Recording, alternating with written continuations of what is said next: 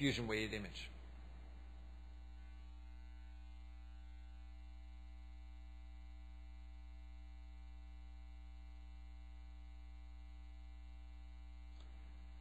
Best diagnosis for this 58 year old with mental status changes. Would you say that this is most likely encephalitis, an embolic stroke, Creutzfeldt Jakob disease, hypoglycemia, or hepatic encephalopathy? Let's get the uh, timer going. Again, best diagnosis I'm showing you the diffusion weighted scan. You can start the timer. Would that be encephalitis, embolic strokes, CJD, hypoglycemia, or hepatic encephalopathy. And we'll see what the audience replied. So, once again, the most common answer is the Creutzfeldt-Jakob disease. Indeed, that is the correct case. And this is uh, just to reemphasize that the diffusion weighted scan is going to be the most sensitive pulse sequence that we have for the detection of Creutzfeldt-Jakob disease. Relatively subtle on the FLAIR scan. Okay, so I just gave away. the most sensitive finding is going to be high diffusion weighted imaging see, signal seen in the in the cortex. Although, as most of you are probably aware, seeing high signal intensity both on the FLAIR as well as the diffusion weighted scan in the basal ganglia is relatively common as well in patients who have Creutzfeldt-Jakob disease.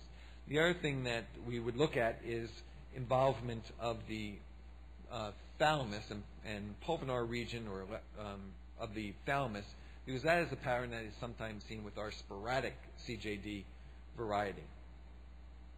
Again, diffusion weighted scan showing high signal intensity in the caudate nuclei bilaterally as well as within the putamen bilaterally. CJD, as you know, is caused by a prion. It's one of these now family of diseases that includes your bovine spongiform encephalitis. It's rapidly progressive, leads to dementia, gait disturbance myoclonus, and ultimately death. We don't really have very good treatment really to offer patients with CJD. The variant form is the one that's linked to the bovine spongiform encephalopathy, uh, so-called mad cow disease, uh, transmitted to humans. And in those individuals, we see high signal intensity within the thalamic pulvinar as the most common finding, but you may see it elsewhere within the basal ganglia. And as you can see, this is now a whole family of diseases which include this uh, kuru, your familial family, familial insomnia, etc., and the vacuolization that's seen histopathologically is the feature. The sensitivity of diffusion weighted imaging has been reported in uh, last year's AJNR as being more sensitive than FLAIR scans. So this is one of the uh, patient populations that you want to make sure that you are doing DWI scanning with ADC mapping because it is true cytotoxic edema and restriction of ADC as opposed to just T2 shine through. And the high signal intensity in the cortex, as you can see, is occurring at a very high rate. Deep gray matter alone in only 5%. The cortical involvement may be throughout the brain or may be limited to the frontal regions, the limbic areas, or parietal, and thalamic involvement in only 34% of the non sporadic CJD.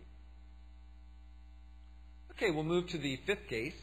This is a young individual who had confusion as well as weakness after a viral illness.